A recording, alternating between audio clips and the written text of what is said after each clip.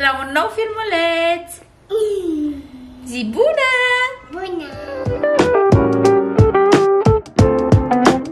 Bună dragilor și bine ați revenit la un nou filmuleț! Astăzi m-am gândit să facem împreună turul fostei noastre case, așa că haideți cu mine nou! Haideți să începem turul! Ei bine, asta este scara, este o scară închisă, noi am lăsat perdelele pe care le-am le, -am, avut noi, eu le-am pus aici și le-am lăsat pentru că dincolo nu mai trebuiau. Uh, filmez deja uh, spre seară, e deja întuneric afară, sper ca totuși să fie ok luminozitatea. Uh, da, de îndată ce urcăm scările o să avem intrarea în apartament. Apartamentul este format din două dormitoare, o sufragerie, bucătărie, baie și toaletă care este separat. Așadar, am ajuns la ușa de la intrare în apartament. Ăsta este holul apartamentului. Acum, în momentul de față, este gol. Și haideți să mergem în față. O să mergem în dreapta și aici o să dăm de primul dormitor, care este mai mic, să zic așa. Este un dormitor destul de ok. Aici am filmat multe clipuri. Aici avem măsuța de toaletă, undeva în zona asta. Acolo a fost patul și da, asta e camera. Draperiile au fost de aici din casă.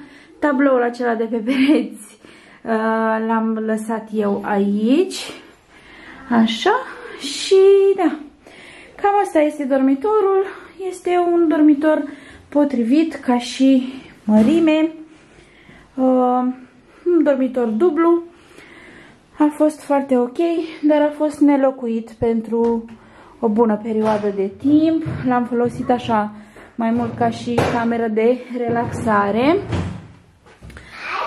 Am ieșit înapoi pe hall, iar aici este camera pe care noi am folosit-o ca și dormitor, camera de joacă a lui Patrick, ca să zic așa. Aici răsună foarte mult. Draperiile la fel au fost de aici din casă. Pare foarte mare încăperea asta, acum fiind goală. Dar, da, Cam așa arată. Pereții au fost uh, cumva albi, gri, ceva de genul. Noi am făcut galben și mi se pare că arată mult mai veselă camera. Acolo este șemineul. Vă mai amintiți ce frumos l-am decorat anul, trecut, anul trecut de Crăciun? A fost super. Dar, uh, da, cam asta este sufrageria casei, livingul. Dar da, noi l-am folosit ca și dormitor pentru că aveam nevoie de o cameră mare. Cam asta e și aici. Ieșim înapoi pe hall și o să intrăm în dormitorul principal care arată cam așa. Ăsta a fost dormitorul în care noi am stat prima dată când ne-am mutat în casa asta. La fel, am lăsat acolo un tablou pe perete. Patrick a venit și el după mine. Și da, dulapurile astea uh, să reglez luminozitatea. Dul, uh, dulapurile astea au fost încorporate uh, foarte, foarte încăpătoare. Foarte mult spațiu de depozitare și jos și sus am avut, uh, da, ne-a plăcut tare mult și aici e foarte, foarte spațios.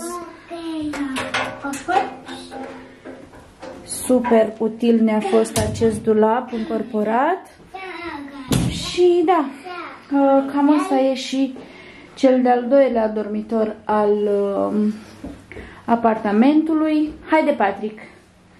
Mai stai aici? Așa. Acum am ieșit pe hall. Aici este o ușă care dă spre boiler, cilindru, ce-o fi ăsta. Edita mai butoiul aici, acolo sunt câteva rafturi, câteva chestii. Așa, în partea opusă trebuie să luăm noi aspiratoarele acasă, pentru că au rămas aici de când am făcut curățenie. Aici a fost tot așa, am folosit-o noi ca o debara. Am făcut eu un clip, dacă vă amintiți, cu uh, organizarea în debara, țineam uh, încălțăminte aici și cam asta e. Patrick, dar lasă-mă, el închide ușa. De ce nu mă lași în pace? Lasă-mă ca să deschid, să arăt aici. Nu? Trebuie să stea închisă? Ok. Hai să închidem. Așa, aici. Pe ușa asta avem baia. Hai să deschidem becul. Așa, așteptăm să se deschidă becul. Asta se deschide cu întârziere. Așa, cam asta e baia, formată doar din cadă și chiuvetă. Aveam aici un mic radiator care încălzea. Aici mai este o lumină la oglinda asta. Cam așa. Și dacă vă mai amintiți, undeva acolo aveam uh, dulăpiorul care l-am pus uh, în baia noastră de, de acasă. Și da, cam asta e. Asta e cada, dușul și cam asta este și baia casei. Micuță, dar destul, destul de ok. Iar aici este toaleta. Să aprin și aici becul. Aici este doar vasul de toaletă și cam atât.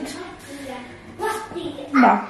Ă, a fost avantajos faptul că toaleta era separat de baie, pentru că atunci când cineva avea nevoie la baie, ă, celălalt putea să se ducă să facă duș sau ă, chestii de genul ăsta. Ok. Ia zi, mami. Ok. Ok. și acum să mergem și în bucătărie. Ei bine, cam asta este intrarea în bucătărie. Cristi mai meșterește ceva acolo. Îl lăsăm să-și facă treaba. Aici este frigiderul. Ok. Bucătăria o știți, am făcut eu un clip de curățenie aici. Și astea sunt dulapurile. Am lăsat noi câteva um, din astea încuietori pentru ca să nu intre copiii în dulapuri. Și cam asta a fost spațiul de aici, din dulapul ăsta, ăsta de sus. A fost foarte spațioasă bucătăria asta. Uh, mi-a plăcut, mi-a plăcut foarte mult, cred că a fost uh, locul preferat din casă. Uh, a fost dotată cu plită, cuptor, hotă, am avut mașina de spălat care e acolo și frigiderul. Și da, cam asta e. Aici mai este o fereastră. Mă rog, chiuveta, am mai lăsat noi aici niște lucruri. Aici am pregătit dosarul și cheile. Și da, cam asta este spațiul. Frigiderul e gol și el. L-am curățat, l-am pregătit și pe el. Și da, cam asta e. Cu turul apartamentului. Cuptorul cam așa arăta. L-am curățat și pe el înainte să plecăm totul e în regulă. Ok, dragilor, cam asta a fost turul apartamentului. Mi-am dorit foarte mult să fac turul ăsta. Am vrut să fac un clip special cu turul apartamentului. Vreau să-l țin în amintire. Uh, asta este casa în care am stat cel mai mult aici în Anglia. Uh, aici, practic, l-am conceput și pe Patrick. Aici a crescut Patrick până la 2 ani. Uh, ne leagă foarte multe amintiri frumoase de casa asta, dar uh, sunt sigură că vom crea mult mai multe amintiri frumoase în noua noastră căsuță. ce mami? Ce vrei să facem? Nu, nu știu ce vrea Patrick.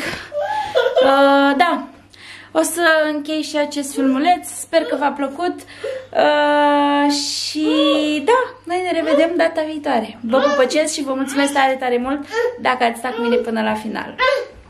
Pa, pa! Spune și tu, mami. Pa, pa pupici! Bye, bye! Bye, bye!